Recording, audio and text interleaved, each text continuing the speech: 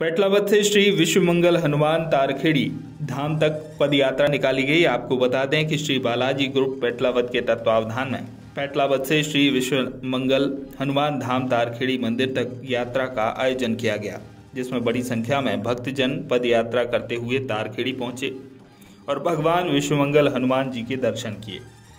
भगवान से खुशहाली की कामना की गई। यात्रा की शुरुआत पेटलावत शहर के श्रद्धांजलि चौक से श्री गणेश मंदिर से हुई। जानकारी देते हुए यात्रा संयोजक नितिन पिपलौदा ने बताया कि आज 8 जनवरी को निशुल्क चतुर्थ पद यात्रा का आयोजन किया गया, जिसमें सभी धर्मप्रेमी भक्तजन बड़ी संख्या में शामिल हुए।